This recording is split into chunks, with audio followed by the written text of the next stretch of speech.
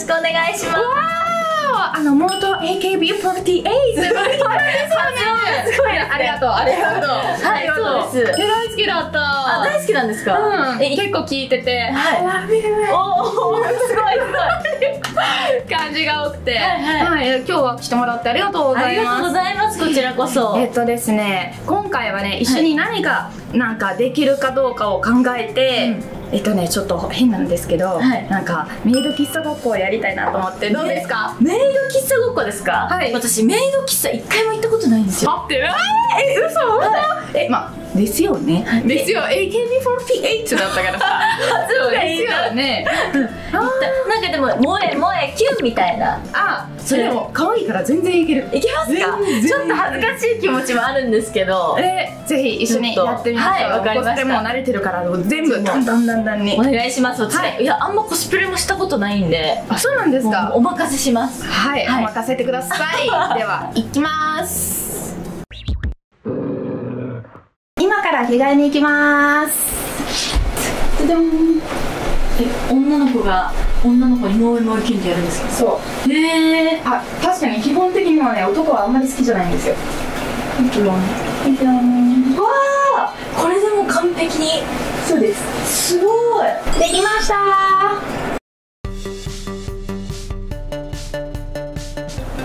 お帰りなさいませ。ご主人様ゆりこ部屋へようこそて嬉しいです。嬉しいです。今日は楽しんでくださいね。はい。えっと新しい新人のメイドさんがいるんですけど、紹介しても大丈夫ですか？お願いします。みきちゃん。お帰りなさいませご主人様はこんにちは。ミキですかわいい。こんにちは。こんにちは。今日はどんなメニューがよろしいですか？オムライスとか食べたいなって。思オムライスオムライスですあオムライスでしたね。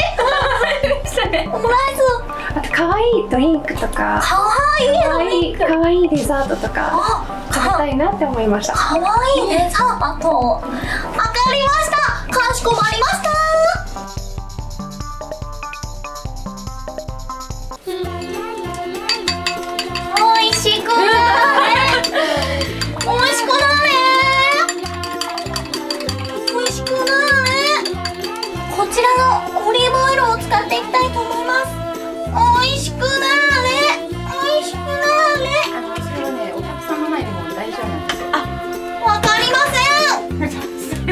んわかるでしょ。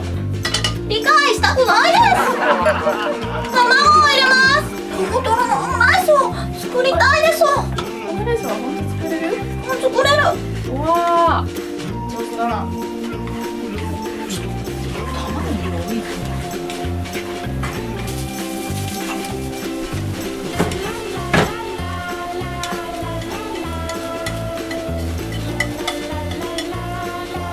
おおいい形になってる。なふわふわ。ふわふわ今みきちゃんオムライスを作ってるんですけど、何がお飲み物もお持ちしますか？じゃあ、ゆりこちゃんのおすすめのドリンクとかありますか？あゆりちゃんのおすすめドリンクはねもえもえいちごミルクです。じゃあそれでお願いします。はいかしこまりました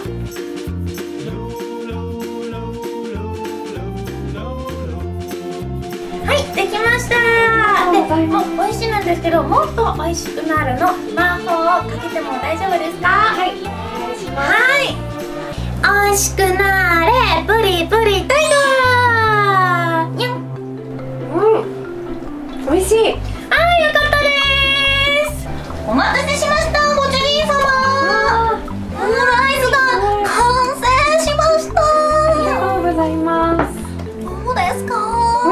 です。ですよね愛情たっぷり注いで作りました。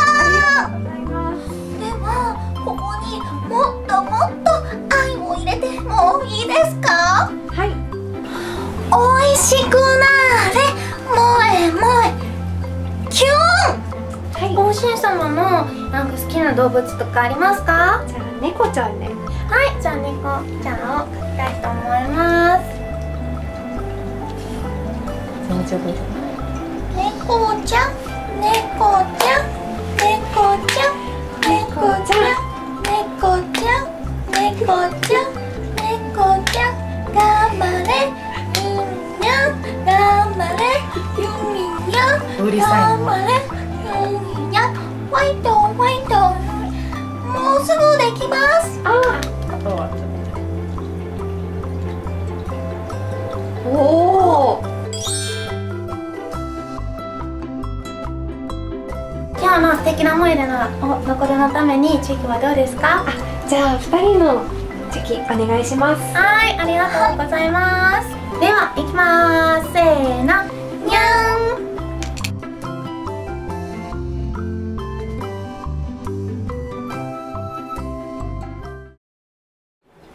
今日はネイルちゃんをやってみたなんですけど、ミキちゃんはどうだった？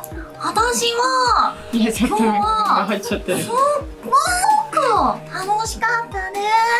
なんかほんとメイドができそうですよね。るよね。向いてるんだけど絶対クビになれるや 絶対クビになるつ絶対クビになるやそうすつごい。なんかでもメイドさんってこういう気持ちなんだって。うん。楽しいですね。やっぱだってこれでみんな喜んでくれる。そうそうそうそうそう。でもちょっとメイドさんの裏側がちょっと怖いなと思いました自分がやってみて。そう、うん。あでもそう本当本当そうよ。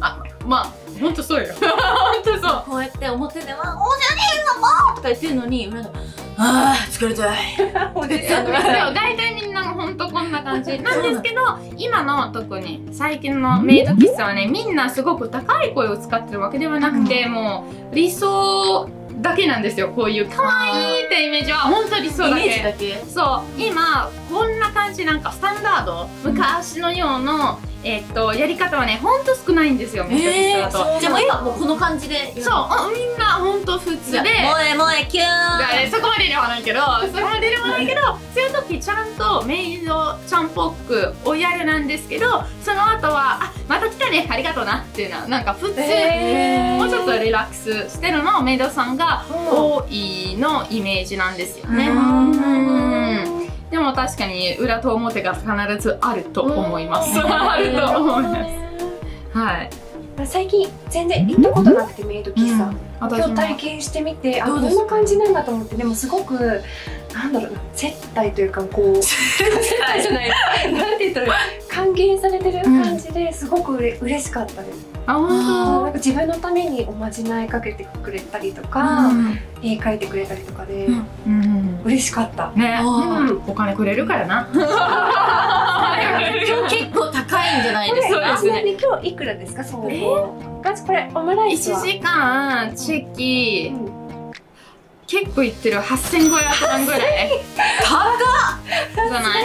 で安いメイドカフェだと本当いい感じのセットプラスで4000あそれでも4000それもある。そう。へー。4000円としては必ずないと思うえうん。1200円うん中薬とか2000とかでうん。チェキも2000みきちゃんがさっきね3000円そう。サイン入れてるまあ1万まあ1万1000円。1万1000円。1万1000円かかりましたね。価値はあるかもね。価値はありますよ。ね。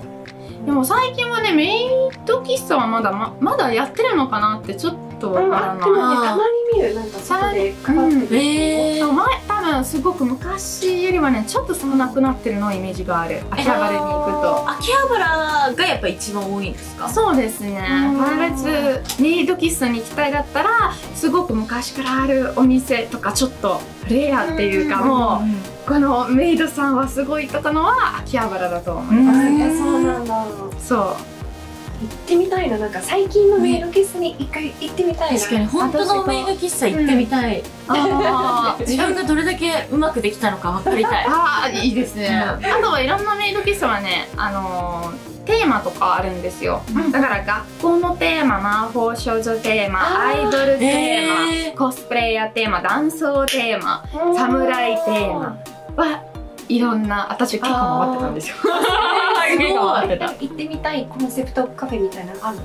へえでも最近はちょっと気になるのはメイドじゃなじゃないなんですけどダンスカフェに行きたいなっていうのもちょっとあの、調子好きんだけど、男じゃなくて、ダンスをしてる女の子みたい。でも、ああとは、あの、前言ってたのは、妹、妹カフェがいたんですよ。お兄ちゃんってずっとな感じで、あ、姉ちゃんってずっと言われて、あ、お姉ちゃんって呼んでってな感じ。あ相手が妹そうそう、あ、ね、甘えん坊みたいな甘えん坊な感じだし、やばいあと行きたいとか、なんだろう。わかんない。でも、そういうコスプレとか、ちょっと手間があるやつが好きかもしれないですね。みきちゃんがメイドカフェをプロデュースするとしたら、うんどんなコンセプトのカフェ作りたい？えー、悩むなーでもやっぱあのこれはちょっといいのかわかんないですけど、やっぱ AKB を卒業した人たちを集めた。ああいい絶ね。絶対超人来ると思う。絶対来ると思う、だからもそうあのちょっとなんだろう。やっぱ困ってる人もいると思うんです。卒業してどうしようみたいな。私はね、JB48 のカフェとかあるんじゃないですか。ありますね。ね、でも、あのね、そっちにいると、AKB48 の女の子がいるはずだなって思ってたら、うん。いない。そっか。そそう。う AKB カフェっていうのがあって秋葉原に、うんでもそこには AKB の衣装みたいなのを着たあのあのお店の人が。そう。AKB の方じゃないんだ方ではないんですけどでもそこでイベントをやったりとかまあずっと映像が流れてたりするっていうのはありましたね。あ、でもいいですね、このアイデアは。いいね。いいね。まあ、アイドルカフェってな感じですよね。うん。そうですね。的にはね。ううん。いいやな。いい。やな。いいやな。急に大阪弁 いいやなってはみきちゃんと一緒にメイドカフェをやってみましたんですけど皆さんはどうでしたか？上手だったんですか？ぜひコメントしてください。ちなみにあのみきちゃんもねあの YouTube もやってるんですね。そうなんですよ。私もつい最近個人チャンネルを始めてお！オルちゃんみきちゃんっていうチャンネル名なんですけど、かわいい名前。そうなんですよ。私はあの韓国に今ハマっているので韓国人になるためにいろいろ頑張る。わらなんで笑ってるんですか？なんでそんな爆笑するんですか？え？私は変なこと言った。いやでもねでもねまあまあまあ私もね日本人になるためと一緒だからそうそう。んそうねジャッジメントはできないなって思った今す。ごい笑うすごいすごい笑ってるけど私は本当に韓国人になりたい。そうなんだ。日本人でいいんですよ。そう私韓国人になりたいからそのために頑張るチャンネルであーそっか。韓国語勉強したりとか。ずっと笑うじゃん。そんな面白いオルちゃんみっちゃんいやいやいや面白そうだなきっと。じゃあぜひねオルちゃんみっちゃんも見て、ぜひチャンネル登録よろしくお願いします。はいお願いします。ぜひ皆さんチェックしてね。はい